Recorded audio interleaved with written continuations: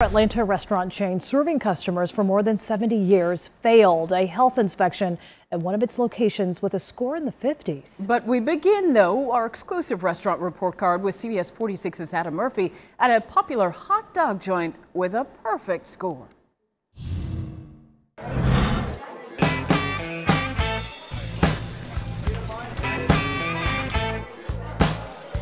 If you're singing the blues, I've got something that'll cheer you up this week. Hey, we're at Mike's Hot Dogs on Roswell Road in Sandy Springs, an institution when it comes to Chicago-style dogs.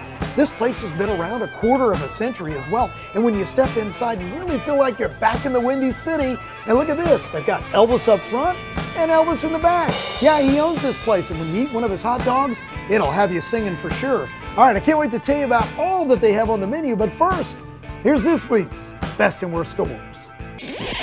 I had some tough questions for management at a well known burger joint on Forest Parkway in Clayton County. The iconic Zesto in Forest Park scored 56 points in a U for unsatisfactory. The report says there was black debris on the soda nozzles. Plus, employees failed to wash their hands properly. And cooked wings, coleslaw, and chili were at unsafe temperatures. Is the food safety? Yes, it, it is. It is. Uh, and again, we are working on all of those issues to correct those or whatever. We was given a time frame, and we are working on all of that. Management said the health department will retrain their employees this week. That's good news considering we identified a potential health violation in the kitchen during our visit. Can you tell me why raw chicken is sitting out back there? What he's doing, he's getting ready to he's getting ready to, to prep it and cook it or whatever. He just took it out of the refrigerator to prep it and cook it, but he's getting ready to go back in the refrigerator. Now to some other scores. In Cherokee County, Cancun Mexican Grill on Town Lake Parkway in Woodstock cleaned up their act after failing a couple of weeks ago, picking up 92 points. In Cobb County, Longhorn Steakhouse on Lower Roswell Road in Marietta scored a 97, and in Gwinnett County, Zona Caribbean on Steve Reynolds Boulevard in Norcross improved upon a failing score, earning 100 points on a reinspection. And back here at Mike's Hot Dogs on Roswell Road in Sandy Springs, they've scored three 100s in a row.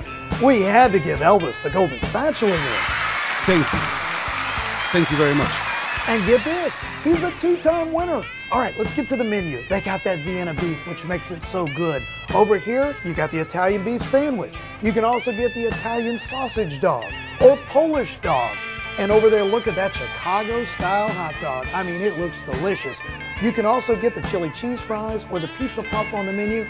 But when I come here, I always like to get that Chicago style dog. And they tell me you got to put two fingers down because these things are loaded. We'll see you guys next week. Boy, that's good.